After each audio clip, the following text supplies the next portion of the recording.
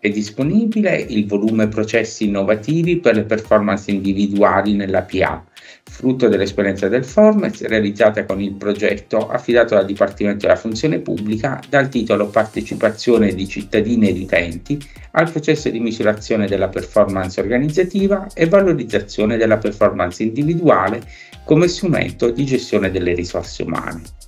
Il volume Propone un approccio orientato alla gestione strategica del personale della PA, con un focus sulla valutazione della performance e sull'implementazione di interventi comportamentali mirati. Ascolta gli autori e scarica il volume. L'importanza delle scienze comportamentali nella, eh, nello studio per il miglioramento della performance nell'organizzazione, eh, sia nelle aziende private ma anche nelle, eh, nella pubblica amministrazione, è eh, un tema, è un argomento che eh, non è eh, molto eh, antico, ma è abbastanza recente, chiaramente partendo dagli studi di Albert Simon nel 1947. Cos'è che può eh, fare un approccio di scienze comportamentali per migliorare la performance dell'organizzazione?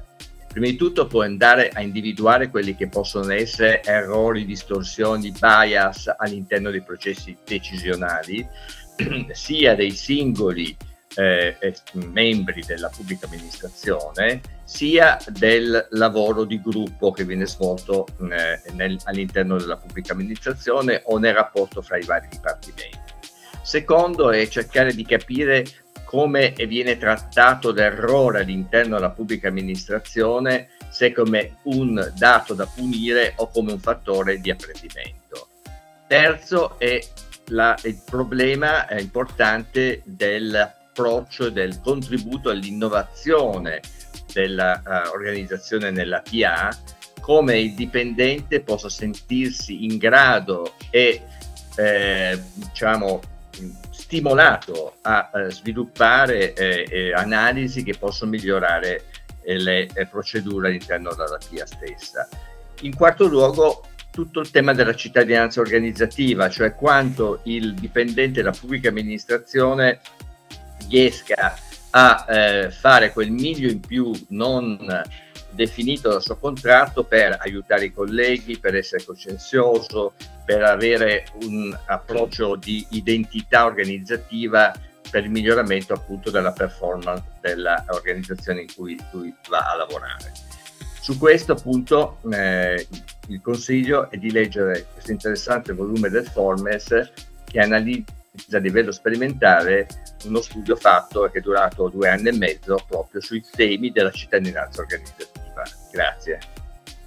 Il tema della valutazione, oggi come oggi, è sempre attuale. La direttiva del ministro Zangrillo di novembre 2023 ha riacceso la luce su alcuni temi rilevanti. Tra i principali si ricordano la valutazione multifeedback, attraverso la quale il dirigente o le posizioni di responsabilità più in generale sono valutate anche dai collaboratori dai pari, oltre che da soggetti esterni, si parla poi di colloqui di feedback, di colloqui formali, almeno quattro all'anno, e di colloqui informali, e infine di calibration, ovvero di quei momenti di uniformazione dei giudizi.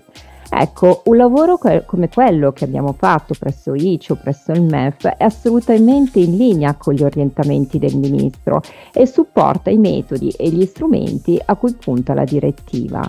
In primis l'individuazione delle competenze, dei comportamenti ad essi associati e che quindi meglio le rappresentano da parte dei dipendenti stessi dell'organizzazione è un primo passo perché tutti possano avere in mente un terreno comune di osservazione prima e di valutazione poi. L'individuazione di comportamenti sia positivi che critici rappresenta un passaggio importante nella costruzione di sistemi di valutazione che valorizzino le competenze trasversali sia dei dirigenti che dei dipendenti. Inoltre, il coinvolgimento dei protagonisti a tutti i livelli ha fatto sì che emergesse la cultura dell'organizzazione e che tutti si siano sentiti protagonisti del processo e partecipi del risultato raggiunto, aumentando quindi il livello di accettazione dello strumento. Non mi resta quindi che augurarvi una buona lettura.